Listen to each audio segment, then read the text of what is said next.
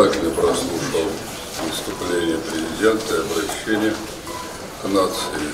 Я все-таки надеялся, что он учтет и все наши аргументы, которые мы не раз высказывали на заседании Государственной Думы, и на слушаниях. Аргументов было довольно много. Первый и главный аргумент. Для того, чтобы платить хорошие зарплаты и пенсии, надо, чтобы работала экономика. Ровно 10 лет подряд у нас экономика проваливается и работает отвратительно.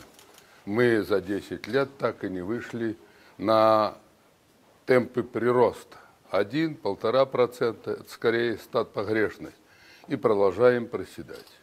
Если у вас экономика не работает, то вы не получите средств ни для зарплаты, а следовательно и нищего отчислять деньги в пенсионный фонд. Мы предложили программу развития, под нее подготовили 12 законов, которые позволили бы уже в этом году сформировать бюджет, расходную часть на следующий год 25 триллионов. Когда он представлял в качестве премьера Медведева, я назвал основные статьи, он слушал – что 25 триллионов позволило бы нам вкладывать в ведущие отрасли, действительно обеспечить прорыв, нарастить темпы выше мировых 3,5% и выполнить установки его послания. Они согласились, что надо добавлять, но я не вижу предложения от его правительства и не слышу в его обращении. А как мы выйдем на мировые темпы? Мировые темпы позволили бы нам иметь пенсию не 12-14 тысяч, как сегодня, а уже завтра иметь примерно 20 тысяч, а среднюю зарплату 50 тысяч. Мы предлагали, чтобы в это трудное время, когда нас обложили со всех сторон санкциями, когда требуется особая сплоченность общества, сплотиться и поделиться фонд развития производства и пенсионный фонд, и со стороны состоятельных, богатых людей. Я бы на месте президента пригласил бы олигархи. У нас примерно 200 человек аккумулировали 90% национального богатства. 1% владеет 90% национального богатства. И мы единственные, кто не желают платить, где богатые, по прогрессивной шкале налогов. Сегодня он опять оправдывал, что это хорошо, это отвратительно, когда в условиях кризиса состоятельные люди – не желают платить нормальные налоги. Ну почему не заплатить, как в Германии? Боитесь, как в Германии, как в Америке? Не хотите, как в Америке, как в Китае? Это было большой бы, очень большая прибавка к нашему фонду развития, в том числе и пенсионному фонду. Я полагал, что он скажет, да, развели слишком много чиновников. Сейчас в два раза больше, чем в советское время – ну, давайте из 6 миллионов посмотрим, подожмем, а это огромные зарплаты. У нас сегодня только чиновники, служащие, остальные. Вот. Было время, когда и шахтеры у нас были служащие, все форму имели, зарплаты. Ничего похожего их выражали. У нас огромные деньги аккумулированы в банках. Я приводил пример. 28 триллионов рублей лежит в банках.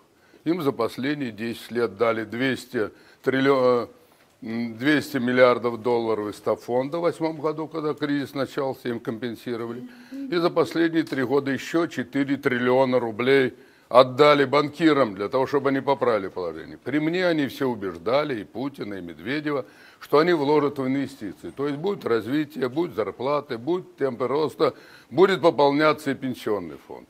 Проверили, они вложили всего 4%. Остальные рассовали по карманам и спрятали в офшоры. Мне казалось, он прижмет офшорников, которые разворовали страну.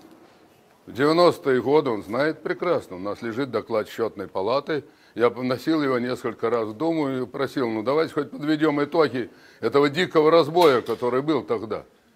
Стоимость 1 триллион долларов национального богатства Чубайс под диктовку ЦРУшников спустил меньше 3% реальной стоимости. Ну, за это надо отвечать. По крайней мере, эти воры могли бы внести необходимый вклад в развитие страны. Не хотят этих трогать. И какую строчку не возьмешь, не желают. Теперь относительно тех цифр, которые ему дает статистика, ее подчинили.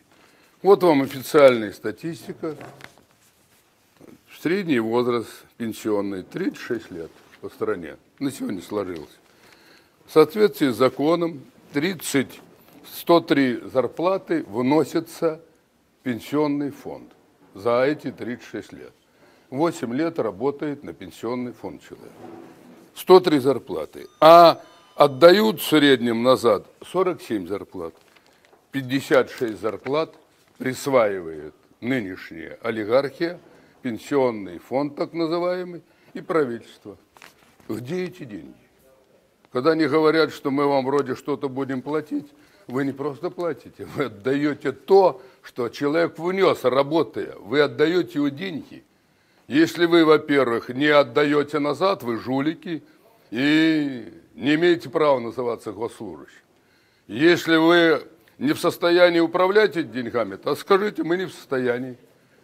Давайте менять правительство, давайте других людей назначим. Если посмотреть, кто занимается у него этой работой, закон о пенсионной реформе готовил Суланов, Кудрин и Назаров. Назарову молодому человеку 35 лет. Учили его в Канаде, стажировался в Англии. Сейчас сидит и написал закон, который содрал с чужих законов. Там к этому закону 5-7 лет подводили, подходили, готовили общество. Молодой человек с средней зарплатой 2 миллиона в месяц. Супруга у него имеет собственность в Германии. Я говорю об их декларации. Четыре квартиры. Меня возникает вопрос. На каком основании он пишет нам эти законы? Кудрин у нас в доме приходит, обосновывает. Из Кудринской этой каши этот первый закон выносится в нашу Думу. Открываю сайт МВФ и просто ахнул.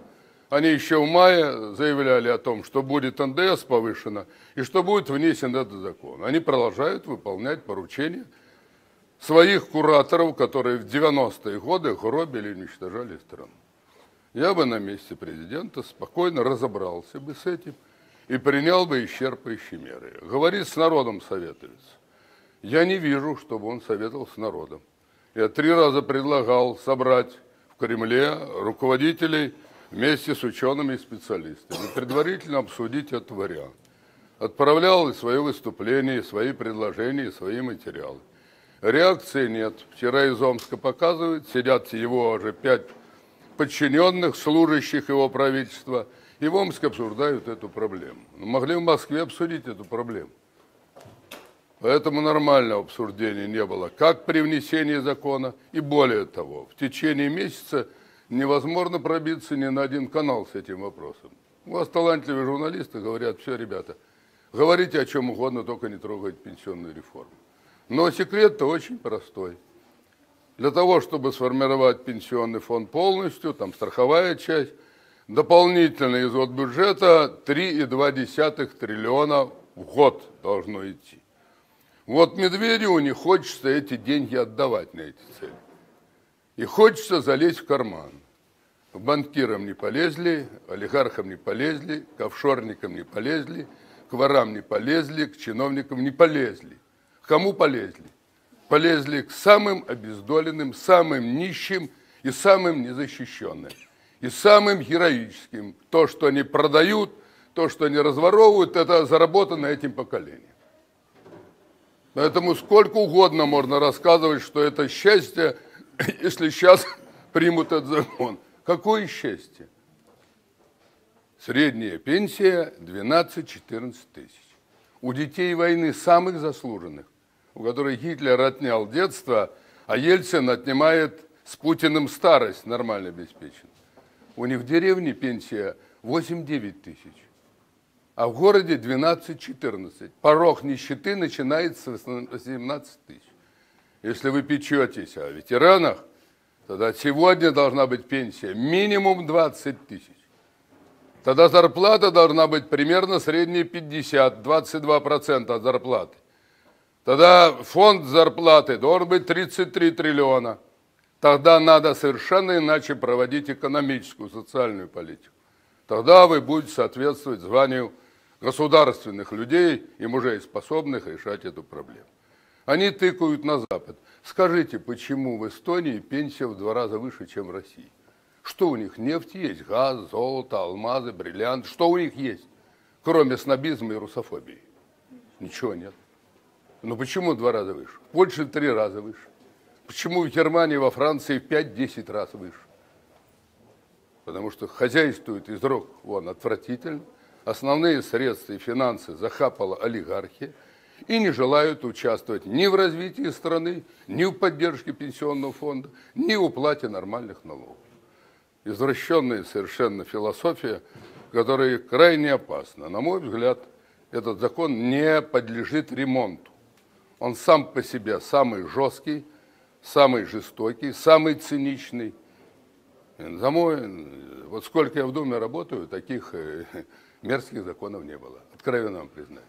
На фоне того, что происходит, нас обложили, я был уверен, что соберут всех и скажут, ребята, надо вкладывать. Ну и последнее. Если хотят разобраться, как надо решить проблему, боятся советского опыта, это дело их. Советская страна не залезла в долги ни на один доллар. Дала средние темпы 15-17%. За 20 лет стала первой и второй державой мира, потому она и победила, и в космос прорвала. Нравится китайский опыт, за 30 лет 10-12%. Реформ Дэн Сяопина сейчас самые большие запасы золотовалютных резервов.